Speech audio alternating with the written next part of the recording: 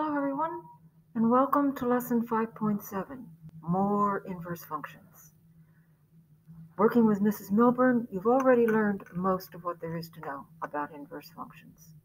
But in this lesson, we'll expand upon that knowledge and explore three different ways to determine whether or not two given functions are inverses of each other or not.